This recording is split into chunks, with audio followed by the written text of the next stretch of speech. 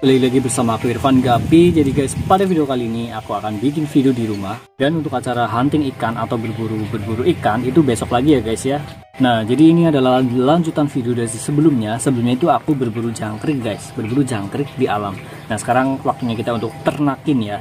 Cara ternakinnya itu gampang banget. Soalnya aku pernah mencoba menernakin jangkrik alam ini.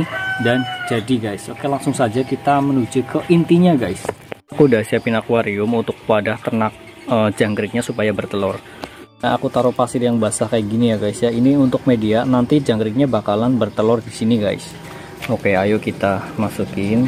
Nah ini untuk tempat bertelurnya. Kayak gini buat pakannya guys tapi kayaknya kok ketinggian ya. Nanti jangkriknya nggak bisa masuk untuk malu ya ini adalah tempat untuk bertelur nanti buat si indukan betinanya guys.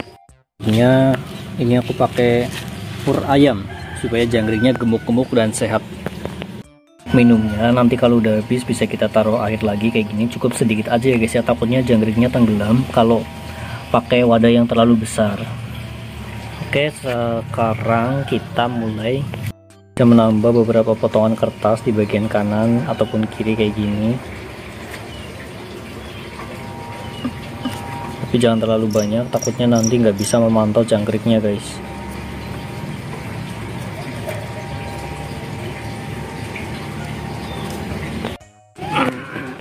ini teman-teman bisa pakai kandang apa saja atau ember juga bisa yang penting jangkrik nggak bisa kabur keluar.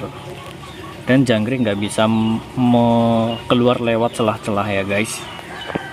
Ya kita pilih uh, indukannya. Kalau misalkan jangkrik belum belum kawin bisa pakai jantan betina. Ataupun kalau udah ada yang kawin bisa pakai betinanya doang untuk bertelur. Tapi biasanya aku dicampur semuanya sih guys. Kita lihat dulu ini betinanya guys ini udah ada telurnya atau belum? Kita lihat di bagian pantatnya. Aku lihat dulu kalau ini di bagian pantatnya uh, belum ada putih-putihnya guys. Sepertinya dia belum siap bertelur. Jadi kita perlu kawinkan dulu ya guys ya. Oke kita akan kawinkan di sini langsung. Mana guys? Oh ya ini. Nanti kita taruh jantannya juga. Karena kebetulan aku punya cuma punya dua betina jadi wah ini ada yang jantan besar guys ya kita dan ini ada betinanya lagi.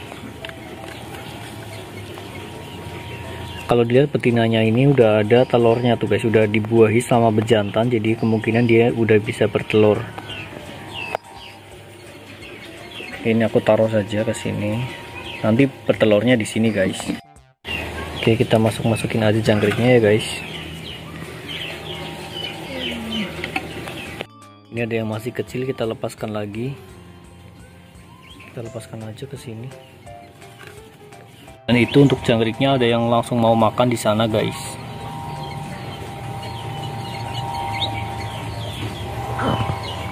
Ini ada yang lagi makan juga di sini.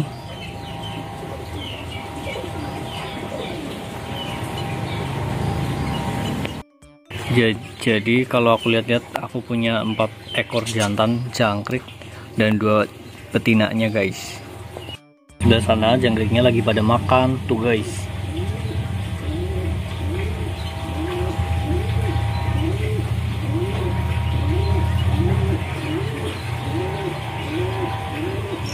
Ya tarung guys. Ya malah tarung. Mudah-mudahan sih nggak terjadi apa-apa ya guys ya.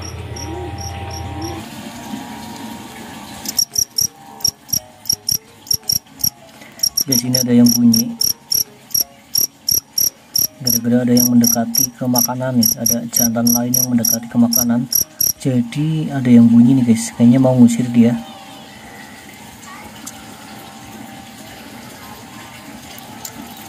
Tuh guys. Gini ternak jangkriknya kita tinggal menunggu beberapa hari ataupun satu minggu kita bisa lihat. Nanti kita cek udah ada telurnya biasanya guys. Oke nanti aku update lagi kalau udah bertelur ya guys ya untuk penyimpanannya teman-teman usahakan atasnya ditutup karena banyak predator yaitu cicak ataupun tikus itu kadang tokek juga mau makan jangkrik-jangkrik ini. Jadi harus ditutup pakai plastik ataupun pakai jaring. Yang penting kalau pakai plastik ada lubang-lubangnya supaya buat sirkulasi udara ya guys ya. Untuk perawatannya, setiap hari kalau pakannya habis tinggal dikasih pakan ataupun minumnya habis tinggal dikasih minum. Dan juga ini untuk kelembabannya bisa disemprot ya setiap hari satu kali guys. Guys, jadi video ini sampai sini. Jangan lupa like, comment, dan subscribe. Salam satu big.